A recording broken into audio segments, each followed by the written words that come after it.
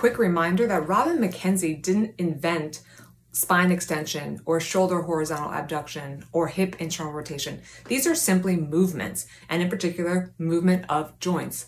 Robin McKenzie's contribution to orthopedics was primarily twofold. One, developing repeated movement testing, which is an algorithm of tests designed to figure out if the patient's complaint is mechanical in nature or not.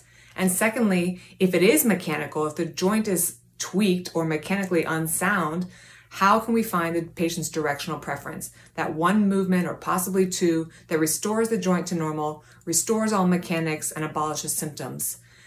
Spine extension is not a McKenzie exercise. His contribution was more profound than that. It's telling clinicians like me when to use repeated movement testing and when to use directional preference exercise or that particular joint movement that for that particular patient is extra special.